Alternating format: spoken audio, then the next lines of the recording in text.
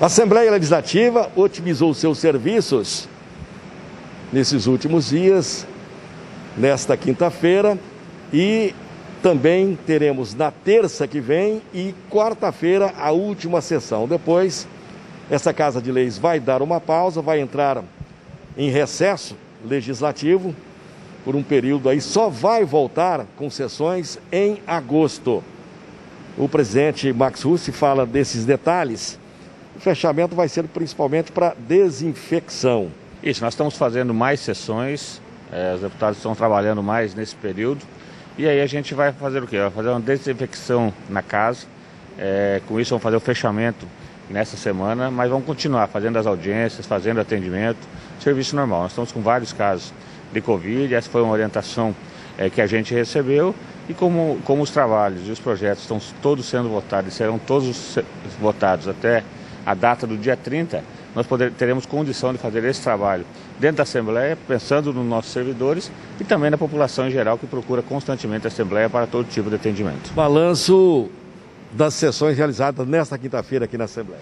Não, foi bastante positivo. Projetos importantes como o auxílio, a continuidade do auxílio para os servidores da saúde que estão na linha de frente, que estão atendendo o, o Covid, esses servidores que fazem esse grande trabalho e vários projetos, projeto da educação que chegou aqui do governo do estado, que foi aprovada em primeira, várias pautas importantes que foram debatidas, uh, projetos aprovados pelos, pelos deputados, vários projetos aprovados, e foi uma sessão bastante produtiva, como também será na próxima terça-feira e na quarta nós faremos uma sessão de vetos. Vamos votar todos os vetos, tem vários vetos represados, que já deu o seu prazo, e nós vamos fazer a votação dos vetos na próxima quarta-feira. Quais são esses vetos, principalmente, presidente? Tem mais, tem mais de 30 vetos. Então tem todas as ordens. Destaque, dois, assim. Tem dois, tem dois que são os os que mais estão chamando a atenção dos deputados, que é o da energia solar, o governo da energia solar e também o da educação, da vacinação da, dos alunos. Então, esses dois que estão, estão chamando mais a atenção dos deputados, mas são mais de 30 vetos e nós queremos a, a, a, votar eles, ou manter o veto, ou derrubar o veto,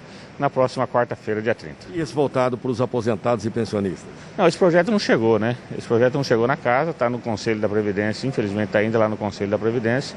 Teve alterações, mudanças, e a gente espera que o mais breve possível saia do Conselho, venha à Assembleia, porque nós queremos aprovar o projeto para dar isenção dos doenças incapacitantes e também é aquele limite que já foi discutido com o governo de, de, de, de em torno de 3,300 de isenção a todos os aposentados do Estado. Então apertar o ritmo, terça e quarta, depois fecha somente em agosto para abrir concessões.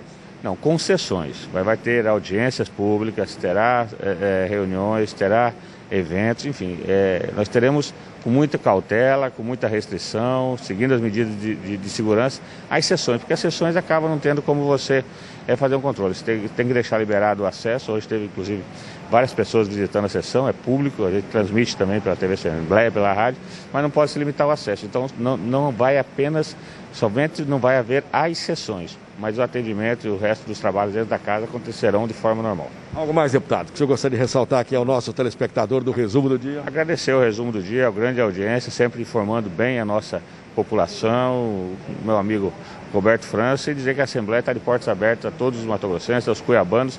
Nós precisamos sim é, prestar um bom trabalho ao nosso povo que nos colocou aqui para bem representá-los. Abraço e muito obrigado. Eu que agradeço a oportunidade.